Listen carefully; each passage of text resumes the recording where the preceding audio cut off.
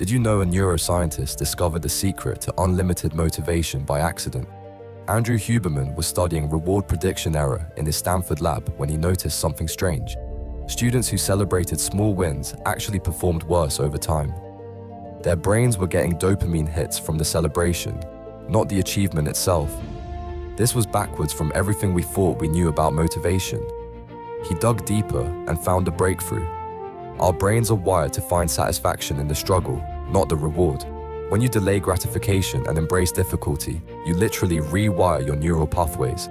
He developed a specific protocol, cold exposure to build resilience, intermittent rewards instead of constant praise, and finding joy in effort itself. The results were incredible. People who followed this approach sustained motivation for months, even years. Meanwhile, those chasing quick dopamine hits burned out within weeks. Today, elite athletes and entrepreneurs use Huberman's timing protocols to maintain peak performance. The secret was never about the destination, it was about loving the journey